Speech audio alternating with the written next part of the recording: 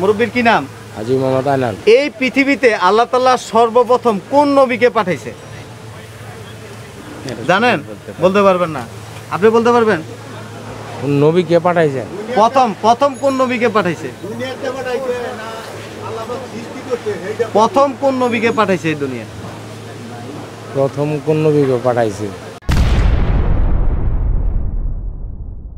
ইসলামের প্রথম খলিফাকে জানেন? জানা নাই।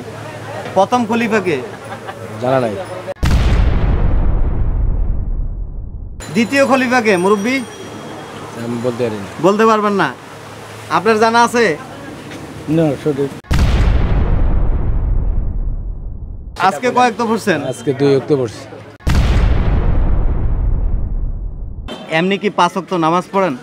না কিন্তু মাঝে মানে মাঝে মাঝে পড়ে। মাঝে পড়া হয় নামাজ ভাইয়াকে পাঁচ ওয়াক্ত পড়ি তবে ফজরটা কাজা হয়ে যায়। ফজরটা কাজা হয়ে যায়। আসসালামু আলাইকুম। ওয়ালাইকুম সালাম। কি নাম ভাইয়ের? হাবিবুর রহমান। হাবিবুর রহমান। মুরব্বীর কি নাম?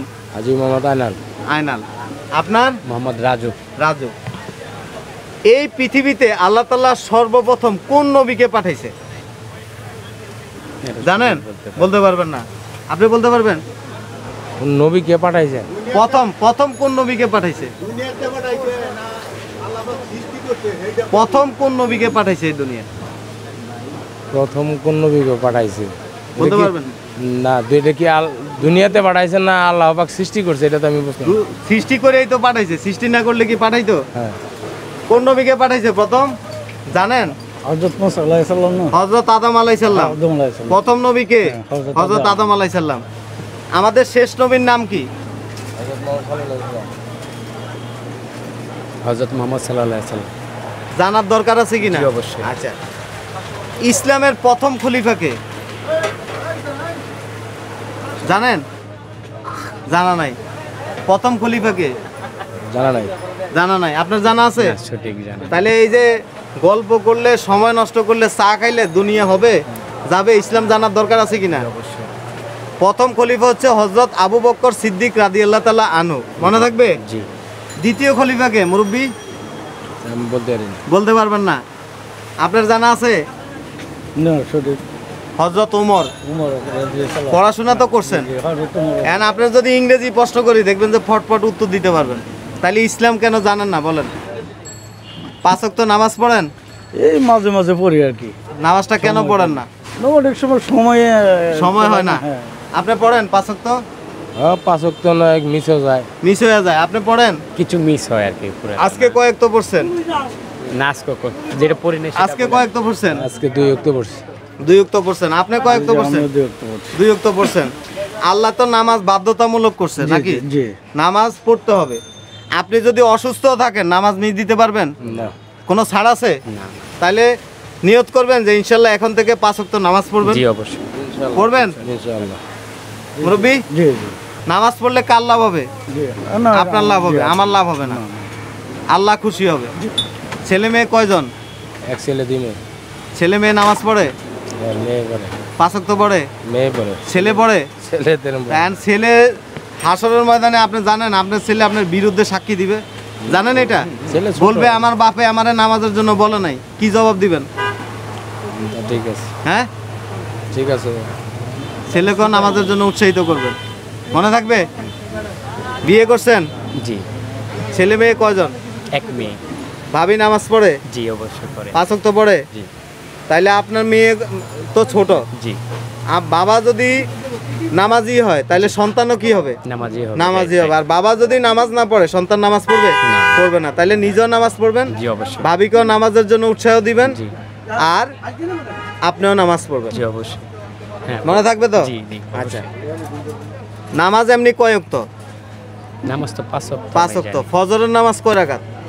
এটা তো মিস ঠিক জানেন না? জোহরের নামাজ কয় রাকাত? না এটা আমি আসলে জানেন না? নামাজ কয়েক তো আপনি বলতে আপনার এই যে কোন নামাজ কয় রাকাত এটা যদি না জানেন তা নামাজ পড়বেন কীভাবে বলেন? পড়তে পারবেন? মুরব্বী একটু। কোন নামাজ কয় রাকাত এটা যদি না জানেন তাই নামাজ পড়বেন কেমনে? বলেন। কখনো শিখতে চান নাই? জি অবশ্যই। মানে এই যে মসজিদ আপনার আশেপাশে তো অনেক মসজিদ আছে। কোনো মানুষ ইমাম সাহেবকে যদি বলেন আচ্ছা হুজুর ফজরের নামাজ কয় রাকাত? আমরা একটু শিখিয়ে দেন উনি কি শিখাবে না? অবশ্যই। তাইলে আপনি শিখেন নাই কেন? এখন যদি আপনার সিগারেটের নাম বলতে বলি একসাথে মনে করেন যে একশোটা সিগারেটের নাম বলে ফেলতে পারবেন। তাইলে আপনি নামাজ কোন নামাজ কয় রাকাত এটা বলতে পারেন না কেন? বলেন। মেয়ে যদি বলে আব্বু ফজরের নামাজ কয় রাকাত? আপনি যদি উত্তর না দিতে পারেন তাহলে শরম লাগবে কিনা? জি অবশ্যই। তাইলে শিখার দরকার আছে কিনা? হ্যাঁ অবশ্যই। তাহলে এই যে আশেপাশে অনেক মানুষ আছে শিখাবেন লজ্জার কিছু নাই খালি। বিড়ি টানলে দুনিয়া শেষ হয়ে যাবে না। না না ঠিক আছে। বিড়ি আপনার জীবনের সব না। ইসলাম জানতে হবে ইসলাম শিখতে হবে। আমি তো মনে করি আমরা ব্যর্থ এই যে আমরা আশেপাশে অনেক মানুষ আছে আড্ডা মারি গল্প করি শিখাই না মানুষকে। শিখানোর দরকার আছে কিনা? জি অবশ্যই। নিজেরা নিজেরা প্রশ্ন করে শিখে জানার দরকার আছে আমরা শিখাই না। এটা হচ্ছে আমাদের ব্যর্থতা। আল্লাহ আল্লাহ তো সব দিয়েই দিছে। আমরা মানি না। তাহলে ইনশাল্লাহ এগুলি শিখেন। অবশ্যই। না শিখলে কোনো দুই পয়সা মূল্য নাই। জি। ভালো থাকেন। আসসালামু আলাইকুম। ওয়ালাইকুম আসসালাম। কি নাম ভাইয়ের?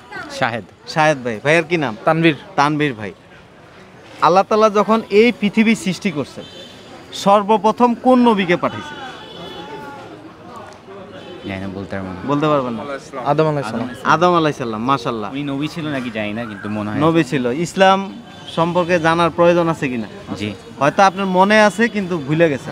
আপনাকে স্মরণ করে দেওয়া। ইসলামের সর্বপ্রথম খলিফাকে বলতে পারব না। বলতে পারবেন না? এইটা আমি সঠিক। বলতে পারতেছি না। হজরত আবু বক্কর সিদ্দিক রাদি আল্লাহ তাল্লাহ আনু মনে থাকবে তো? ঠিক। মনে ছিল। ঠিক আছে। দ্বিতীয় খলিফাকে দ্বিতীয় খলিফা তো বলতে পারবেন না। হজরত ওমর। আচ্ছা। মনে থাকবে তো? জি আচ্ছা। পাঁচজন নবীর নাম বলতে পারবেন? হজরত ইসা আলি সালাম হজরত মুসা আলি সালাম হজরত মোহাম্মদ সাল্লাহ আলহি ওয়াসাল্লাম তারপর আদম আলাইসাল্লাম ইব্রাহিম আলাই সাল্লাম ইব্রাহিম আলাইসাল্লাম নূ আলাইসাল্লাম হ্যাঁ নূহ আলাই সাল্লাম পাঁচজন সাহাবীর নাম বলতে পারবেন? না। আপনি পারবেন? সাহাবির নাম বলতে পারব না। আচ্ছা আমি শিখিয়ে দিচ্ছি। হজরত আবু বক্কর সিদ্দিক রাদি আল্লাহ তালা আনু মনে থাকবে তো? জি। হজরত ওমর। জি হজরত উমর হজরত আলী। হজরত বেলাল হজরত ওসমান। আচ্ছা। মনে থাকবে তো? আচ্ছা। এখন বিয়ে করছেন? না। আপনি করছেন? ধরেন আপনি বিয়ে করতে গেলেন। যে মেয়েকে বিয়ে করবেন সে আপনাকে প্রশ্ন করল। আচ্ছা বলেন তো পাঁচজন সাহাবীর নাম বলেন।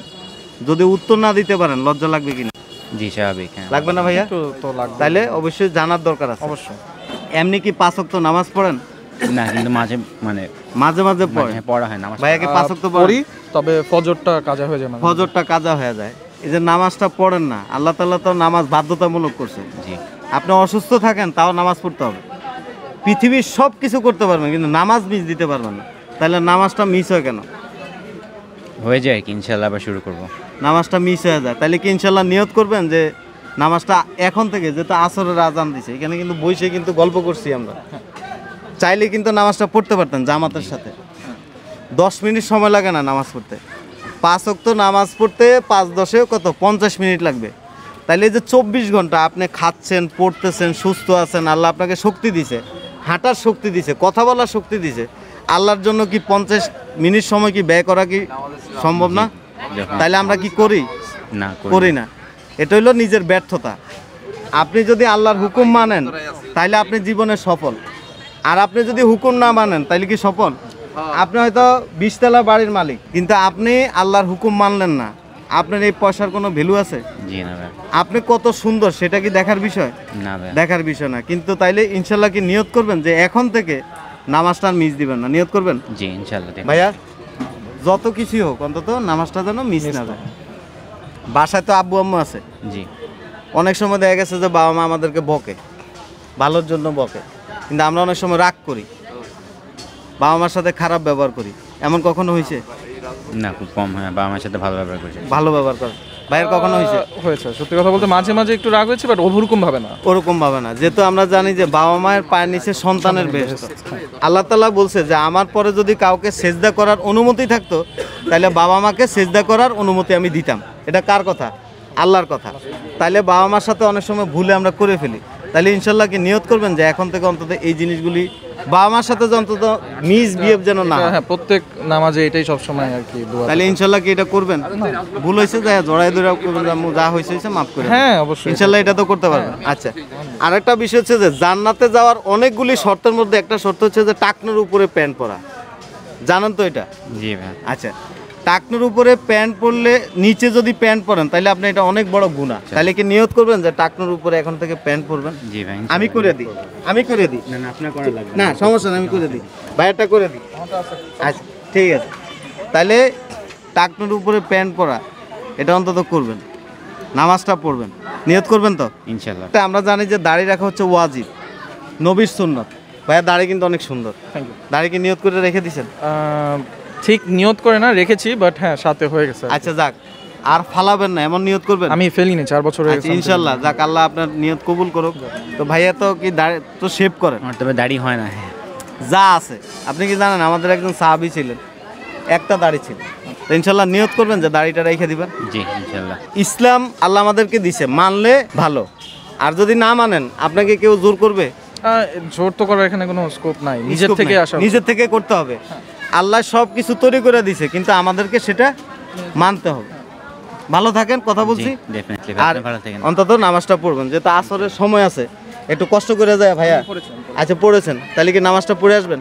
আমি পড়ব আচ্ছা ঠিক আছে ধন্যবাদ। সালাম আলাইকুম।